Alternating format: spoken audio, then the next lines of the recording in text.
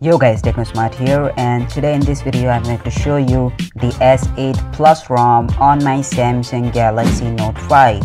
So let's get started. So yes, if you really want the S8 Plus ROM on your Galaxy device, so comment down below and I promise you I'll make a video on that. So it is running the Android 7.0 Nougat which is pretty cool and you also get that edge screen and we also have the Bixby so as you can see here is the Bixby and it works perfectly on my phone. And if I'll just pinch in there you can see three options right there. And if you'll go into the home screen settings you have the home screen and layout in which you can keep the home screen only or home screen and app screen. And the home screen grid the app screen grid the apps button. So you can keep the apps button or you can hide the apps button. And hide apps you can hide the applications from there. And if I'll go into wallpapers and themes.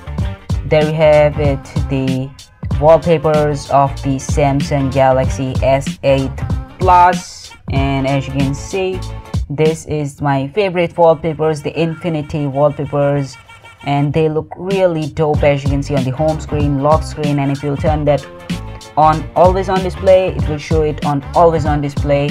But there is a big problem. The always on display is not working on my phone and i'm pretty sad for that so i don't know why it's not working on my phone.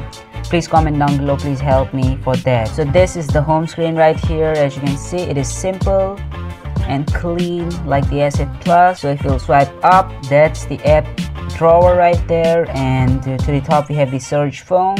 So you can search anything from that and the Google Voice and the options button right there. Three options there sort settings and galaxy essentials. Now let's quickly go into the camera app. So inside the camera app if we'll swipe from the left. There we have all the modes. You can download it as well from the icon the plus icon to the top there. And uh, let's quickly move on to the settings. And there we have the picture size and video size. So you can select between them and we have the video stabilization and all that stuff. And if I'll switch to the front facing camera yes BTS hashtag BTS so again if you go in settings you will have the picture size and video size. So let's get out of this camera app. And one thing I loved about this ROM is that it has all of your S Pen functionalities. So as you can see as I took the pen off we have all of the S Pen commands. That is pretty cool so yes that about wraps up for a quick look on this s8 plus rom. Hope you guys enjoyed this video.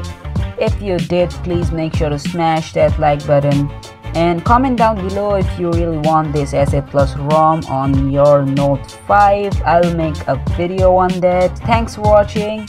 This is technosmart signing off. Have a great day guys